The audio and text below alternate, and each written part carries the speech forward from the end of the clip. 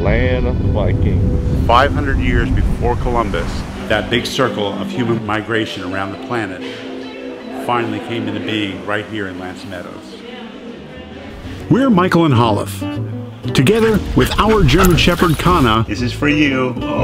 we've been traveling full time around the United States in our camper van. Kana, what you doing? We arrived in Canada to explore the vast land of the Great White North.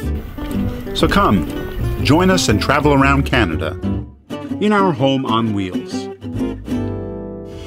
Previously, we were at Gros Morne, one of the two national parks in Newfoundland, where we took a boat ride to view Gros Morne's majestic fjords. Is that true, Michael? What?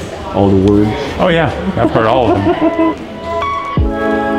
After Gros Morne, we continued on with our van life journey north, along the western peninsula of Newfoundland, to a very special place at the northern tip of the province called L'Anse Meadows.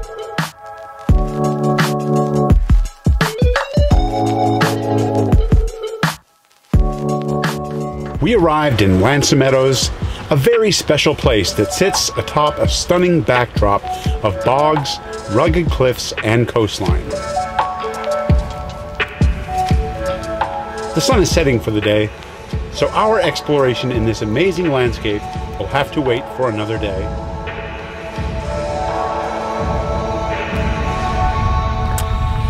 It is about 6 a.m. here in L'Anse Meadows. We just woke up, probably still look really tired, but it is going to rain today, so we had to get up before the rain started. So we are going to go out and see this place come heck or high water before the rain starts. So first of all, we need to get Kana to do her business and we're getting out of here to go see this place.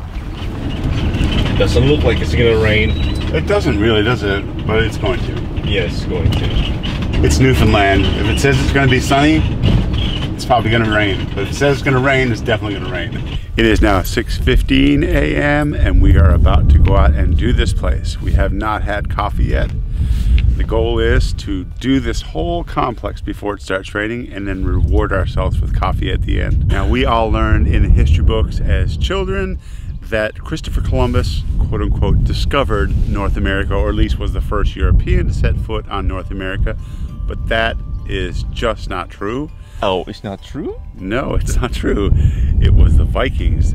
500 years before Columbus, the Vikings, Leif Erikson, called Leif the Lucky, I believe, set foot here in Newfoundland at L'Anse Meadows in a place that was called Vinland by the Vikings. They discovered the remnants of like an intact uh, Viking arriving in the 11th century from Greenland and it just make everybody so excited when they discovered in the 60s fast forward to 1970s it became UNESCO World Heritage Site and now everybody just learned about it Well, we all learned about it in our school books growing up. So I guess didn't. That was back in the 70s for me.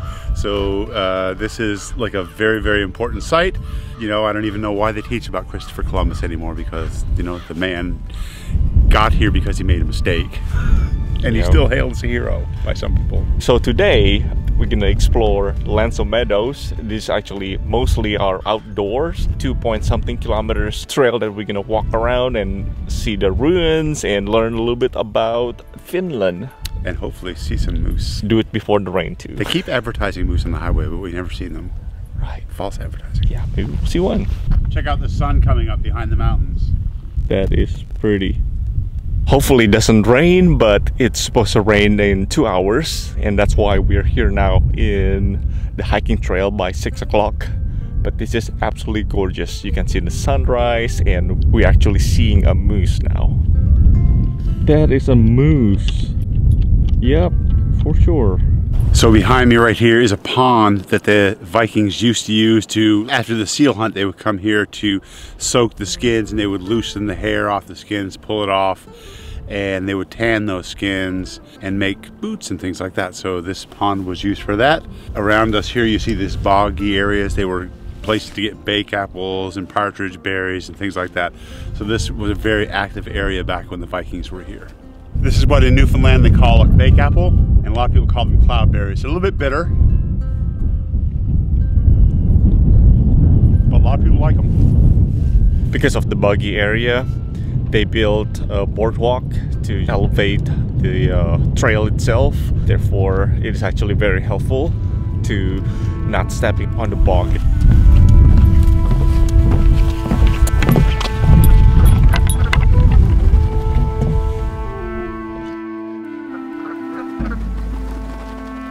Pitcher plant. This is the uh, official flowers of Newfoundland Labrador. They have them here too. The trail we're on follows the coastline all the way around this Viking settlement. And one thing you really notice though, there's some really steep cliffs here too. So if you're coming here, you should wear some good hiking boots and be very careful around the escarpments because it would be pretty easy to fall in. But if you do fall in, you're gonna fall into some beautifully clear water. it's absolutely striking how clear the water is.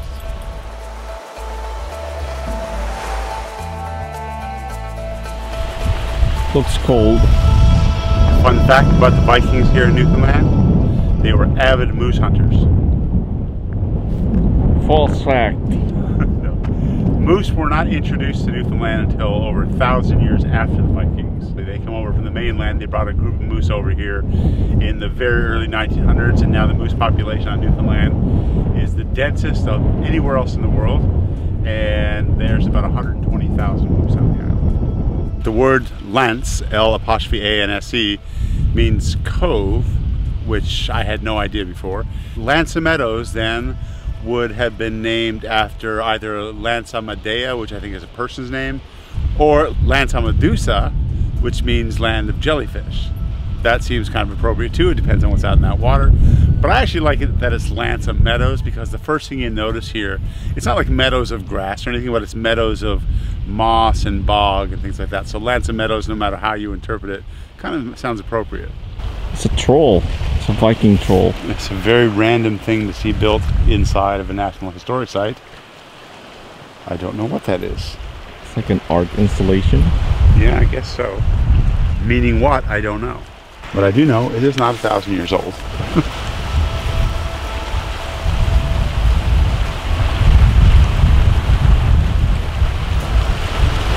Finally, we arrived in the actual excavation area of the Viking settlement, and they actually have a replica of the huts and the living encampment of the Viking. This area right here behind me, it's an active archaeological site. I'm sure they're still finding a lot of different things from the Viking settlement back in the 11th century.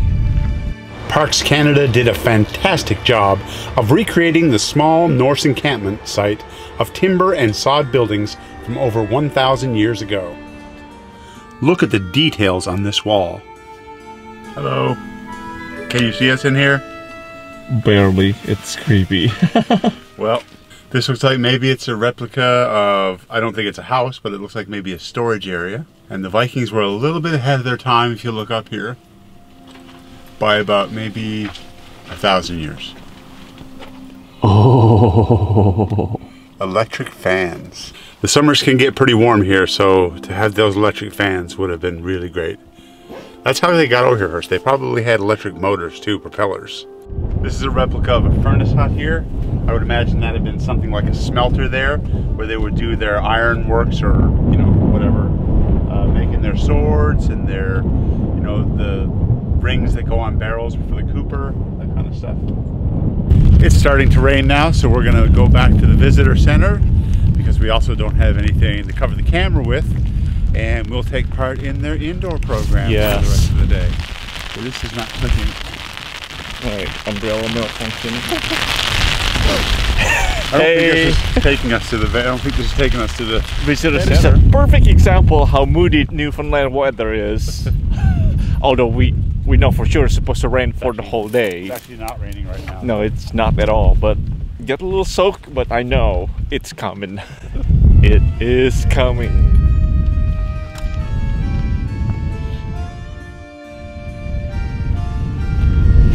This is the river that the burly Viking men would come to to bathe once weekly.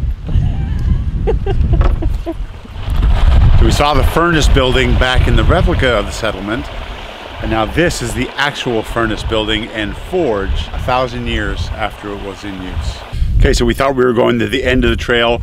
Our vehicle is right on the other side of this building, but unfortunately the building is not open and the trail ends here, so we have to try to figure out some way to get back around to the other side, which means we may have to re-hike this whole trail all the way back and hope to heck it doesn't rain. oh well. That's the visitor center, right? That's the visitor center. Wind's picking up. It's definitely a very different landscape now. It's a bitter cold morning before coffee time too.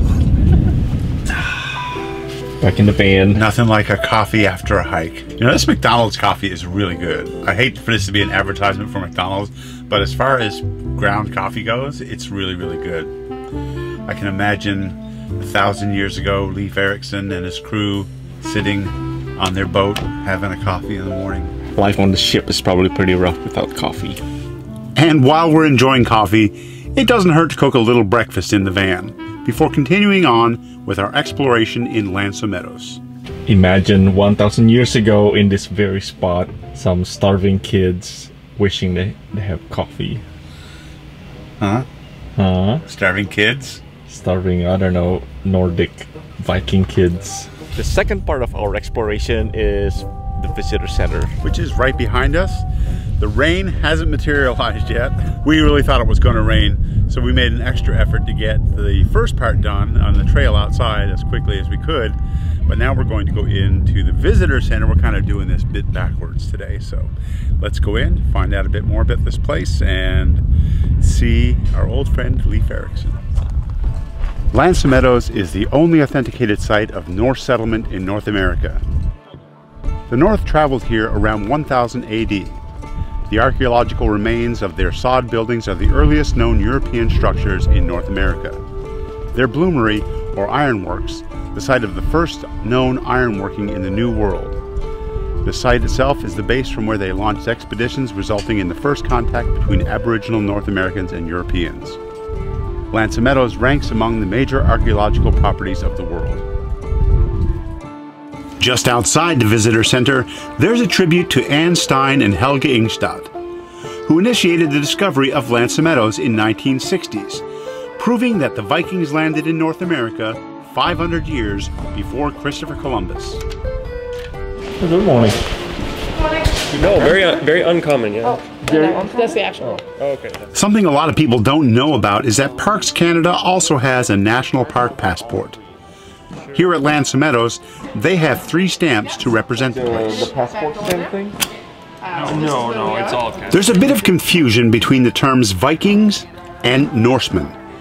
Both refer to the same Germanic people who settled in Scandinavia during the Viking Age, who spoke the Old Norse language. The term Norse refers to Norsemen who were full-time traders, while Vikings refers to the people who were actually farmers but were part-time warriors who took to the seas to raid, trade, or explore. Here at the Visitor Center, they have a collection of Vikings in popular culture, which helps to explain the Viking culture represented here at L'Anse aux Meadows. The absolute coolest thing that we've learned today is that the meeting of the Norse and the native Aboriginal people that were here closed the circle of humanity. So when humans first came into being 200,000 to 150,000 years ago in Africa, they moved up from Africa. Some went to turn left, some turned right. So you had some going into Europe, some going into Asia and down to the Middle East, and then some going into North America. A thousand years ago, the Norse came to Newfoundland, and during that time, probably met the Aboriginal people that were here. So that big circle of humanity finally closed 1,000 years ago, and that's one of the most important aspects of L'Anse aux Meadows that most people don't even think about. That big circle of human migration around the planet finally came into being right here in L'Anse aux Meadows. One of the most important artifact that they found here in L'Anse aux Meadows is this pin right here. That signifies that this whole settlement was indeed a Norse settlement because that pin actually used to tie up the cloak and that's never existed here in the North American culture, indigenous culture here. And when they found it, they knew right away the old Indian settlement was thought to be this area was actually a Viking. And right here is a spindle whorl that was actually found by a young boy visiting his father at the excavation site. So the significance of this spindle whorl is that they also found it in Greenland at known Viking or Norse sites. And this, along with that bronze pin, absolutely proved that this was a Norse Viking settlement. And this is the butternut seed that proved that they'd been to New Brunswick.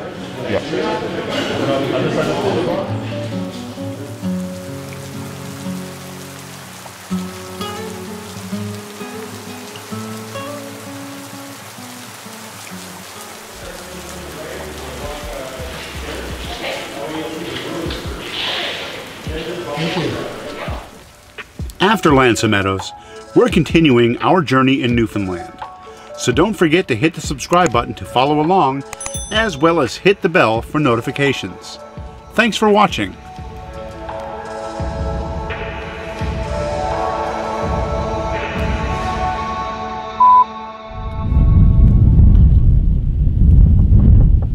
Hello? Hello, is anybody in here? Yes. Hello, I'm here to talk to you about your car warranty. Pizza delivery. Candygram. Nobody's home.